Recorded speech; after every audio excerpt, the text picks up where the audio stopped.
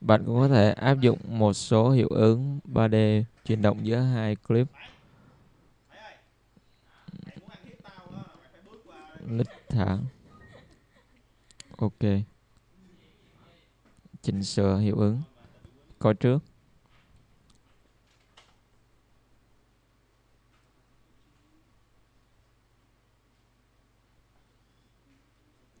Bạn cũng có thể thay đổi vị trí.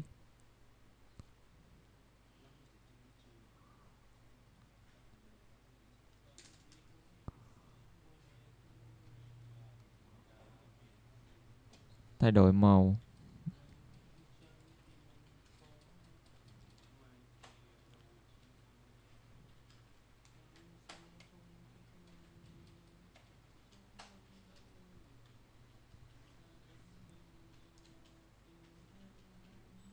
Và chạy để kiểm tra kết quả.